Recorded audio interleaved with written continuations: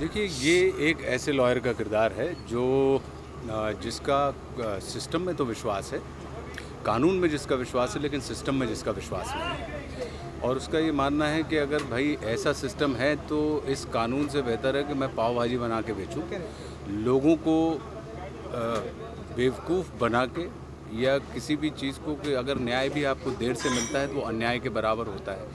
तो उसने ये रास्ता अख्तियार किया एक पढ़े लिखे आदमी का कि भाई आ, आपकी पढ़ाई का महत्व तब है जब आप निश्चित रूप से किसी इंसान को न्यायिक तरीके से उसके न्याय को आप समय रहते हुए उस तक पहुँचा पा रहे हैं। लेकिन सिस्टम की इतनी लंबी मृग मरीचिका होती है इतना लंबा चक्रव्यूह होता है कुछ चक्रव्यूह के कारण ये व्यक्ति बेजार आ गया।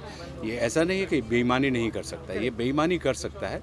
लेकिन चूँकि ये पढ़ा लिखा व्यक्ति है तो उसने बेईमानी ना करने का रास्ता चुना और उसने ये फैसला किया कि जिस अदालत के अंदर अगर मैं लोगों की आत्मा तृप्त नहीं कर सकता हूँ तो अदालत के बाहर भाव पावभाजी के माध्यम से मैं लोगों के पेट को और उनकी रचना को तृप्त करूँ देखिए, कुछ नहीं है इसका अपने जो केस जो इसने लड़े हुए हैं, जो इसने हारे हुए हैं, उन केसों के जो तमाम कागज़ हैं, उनमें वो अपने पाव लपेट के बेचता है, उसका ये मानना है कि ये सब रद्दी के टुकड़े हैं।